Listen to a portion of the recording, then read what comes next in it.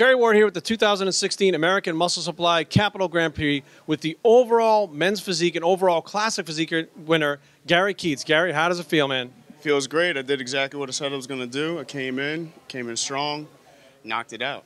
Now, is this your first overall win? This is not my first overall win, but it's my first overall in the open win. In the open win. Yes, So- I won the novice open last year. So now you're qualified in two different classes. If you had to pick one to go to the Nationals, which one do you pick? Classic. Definitely love the posing a whole lot more. So is that your future plans is to go on to more classic physique? It is definitely the future plan to go on classic physique. Now, for your height, is there um, are you already maxed out in that class, or do you have room to grow? I have much room to grow. Uh, our weight limit is 207. I got on stage at 188, so I got a good amount of time to grow. So we're probably going to take off a whole season, the build, and then we'll come in a whole lot stronger and bigger. Awesome. Now I heard him saying this when he walked up of what he wants to eat right now. But go ahead, go ahead and tell them what you want to eat. All I want is ice cream. Just all I want is ice cream. Gary, go get your ice cream, man. Congratulations. We'll be seeing you in the future, bud. Take care.